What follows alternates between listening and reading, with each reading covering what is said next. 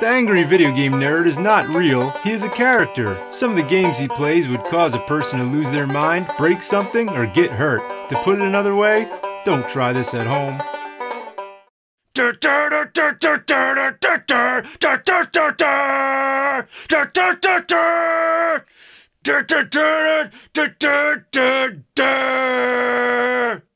In the 90s, Beavis and Butthead was a sensation. On the surface, it seemed like the most mindless, idiotic show on television, but on closer examination, it was funnier and smarter than you'd think. There were two segments to the show. First, there was the narrative segments. This is where you'd see the characters leave the house and interact with society. They'd cause all kinds of trouble and act without discipline. They seem to represent some kind of teenage primal inner self, a warning of what our generation may come to if we don't subdue that inner self, a social satire covered in fart jokes. The other part of the show is where they watch music videos while commenting on them in a very loose and lowbrow kind of way. It gave us a contrast to the formal critic who traditionally tries to compose themselves in a professional, intelligent way, but really all you need is two jackasses sitting on a couch making fun of Beavis and Butthead pioneered today's various styles of reviewing media. Speaking of media, it only seemed natural that they appeared in video games, like this one on Sega Genesis. It was released timely, during the show's popularity. So, a game based on Beavis and Butthead? We're there, dude. This is gonna be cool. Or is it? The plot goes like this Beavis and Butthead get tickets to a GWAR concert, but a dog eats the tickets, barfs them up, then they get shredded in a riding mower, scattering the pieces of the tickets all over town, and you gotta find them. A bit far fetched, but so is the show. In fact, everything about the game is in tune with the show. The humor is there, and the game's graphics look just like the show's animation style. It feels like you're playing a Beavis and Butthead episode.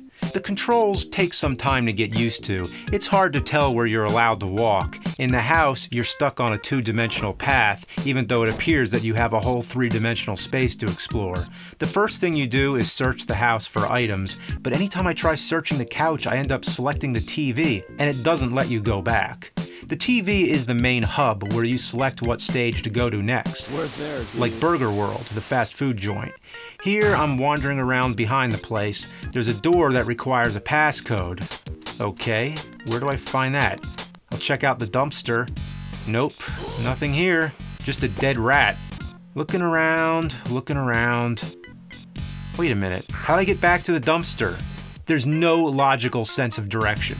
Try playing it with two players and you're screwed. You're both always going to be moving in different directions, causing the screen to change at inconvenient times, unless one player leads and masters the art of lightning fast communication. Now, where's the passcode? I looked everywhere. You know where to find it? I know. In the Cheater's Guide. That's where. The passcode is Butthead? Okay, I thought it was just going to be numbers. I didn't know it was going to spell out a word. Why does the finger go in between the keys? It shouldn't do that. Ah, I hit the wrong key. How do I delete it? Oh, core?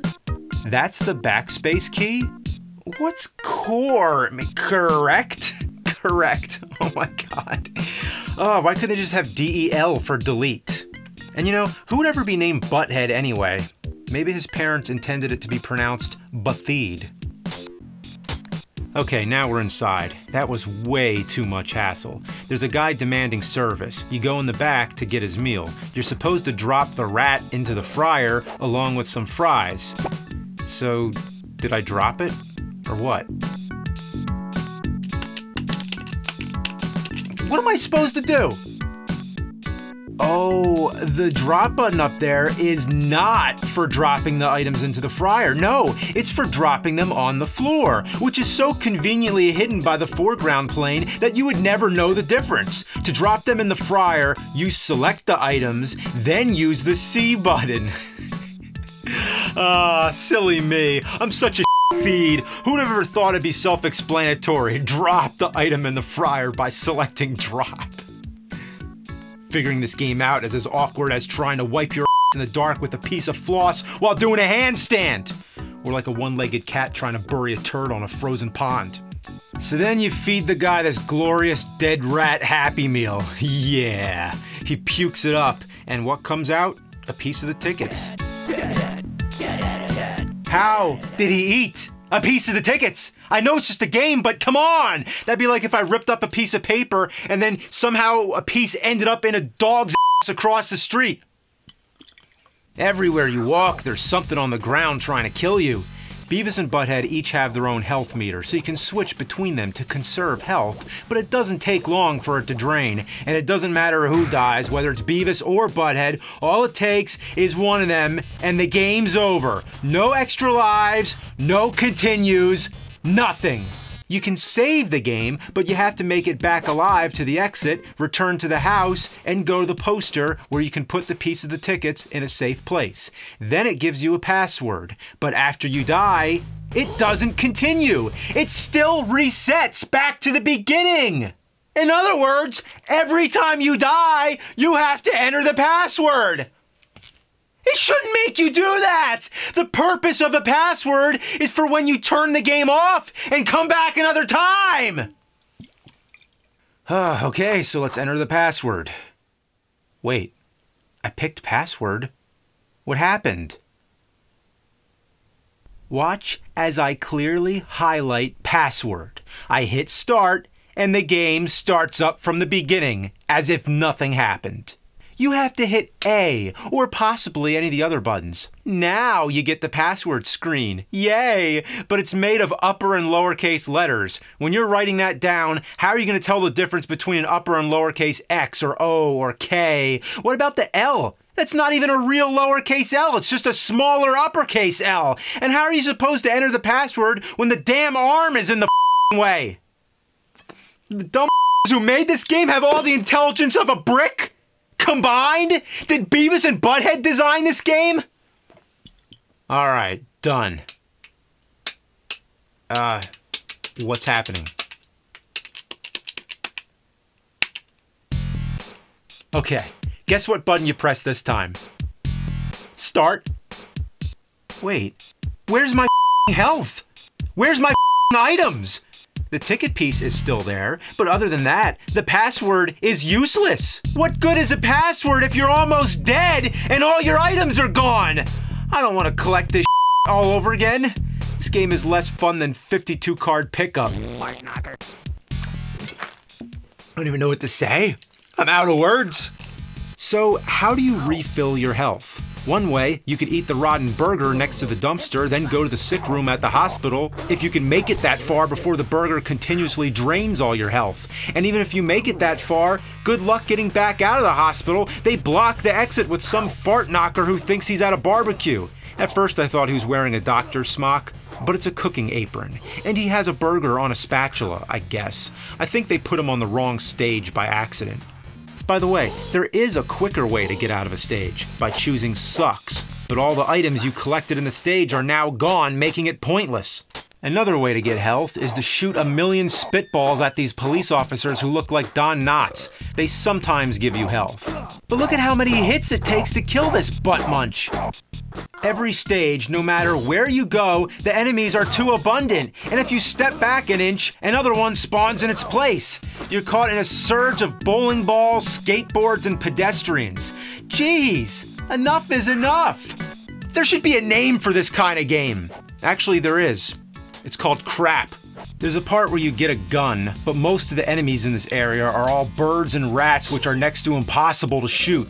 The rats especially because they're too close to the ground. Did you think you can duck and shoot?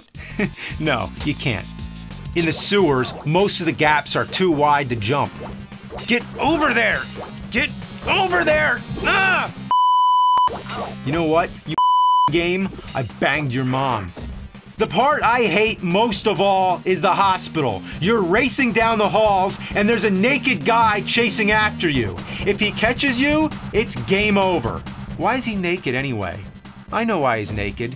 Because he has no clothes on. And what are these things? Health? No! In any real game, a white container with a red cross on it is always health. But not in this piece of here, they slow you down, and you're in the middle of the screen, giving you no time to react.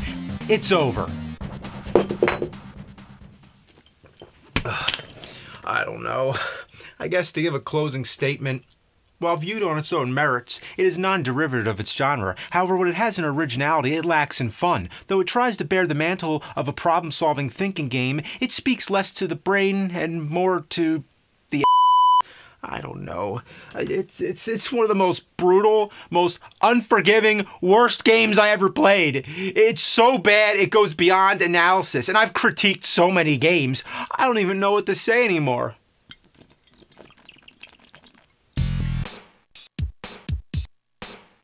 That's it. It says it right there. The game is telling me that it sucks. That's all I need to say. This game sucks. That's the phrase it all comes down to. That's where it all started. This game sucks. Beavis and Butthead taught me everything I need to know. You know what else they taught me? Change it. Yeah, that's how you critique it. You just say, this sucks. Yeah. Uh, you know when you eat rump roast, are you like eating a cow's butt? You know the word this is like spelled backwards? Or, uh, maybe it isn't. Maybe I should, like, uh, play another game or something? Alright, here's one on Super Nintendo. I guess if we're, like, going 16 bit, then you know.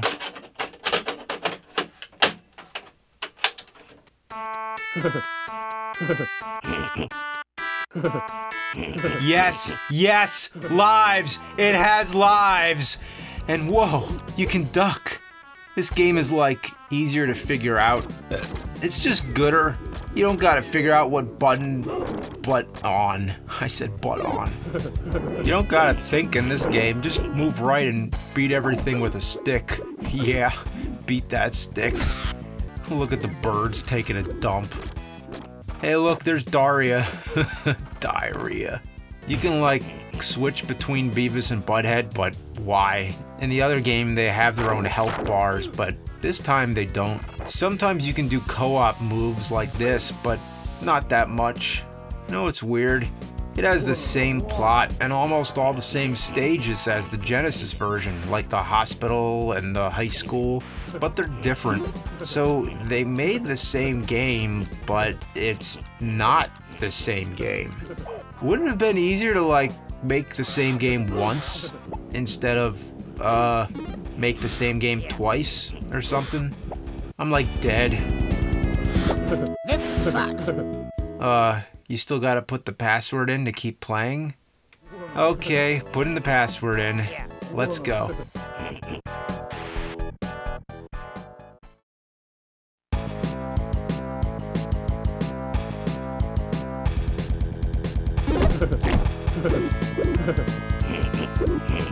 Uh, no lives?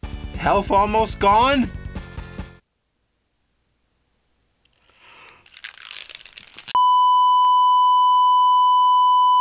I am the great Cornholio! I need TP for my bunghole!